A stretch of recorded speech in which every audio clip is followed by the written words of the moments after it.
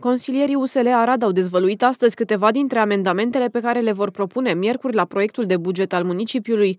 Unul dintre acestea prevede alocarea sumelor necesare pentru a întocmi un studiu de fezabilitate pentru înființarea unui centru de monitorizare și prevenție a cancerului. Am propus acest lucru pentru că din toate statisticile la nivel național din ultimii ani rezultă că Aradul este pe primul loc în țară în ceea ce privește cazurile de cancer.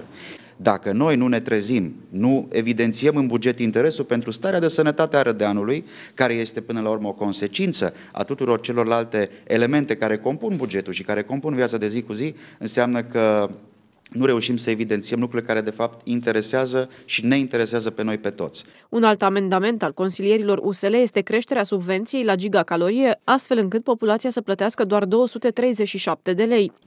Aceste subvenții care se ridică la aproximativ 7 milioane 200 de mii de lei, aproximativ 1 milion 600 de euro, ceea ce nu reprezintă foarte mult pentru, să zicem așa, proiectul, județ, bugetul județului Arad.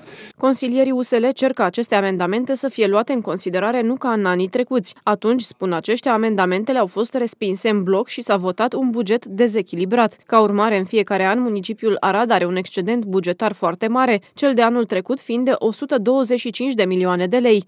Nu putem să avem un buget de aproape 500 de milioane de lei și să avem un excedent bugetar, adică bani necheltuiți, Excedentul bugetar asta înseamnă bani încasați și neputința de a-i cheltui.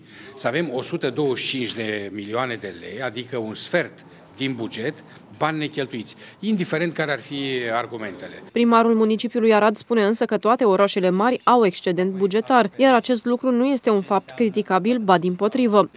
Ne bucurăm că Aradul are un excedent bugetar din 2013.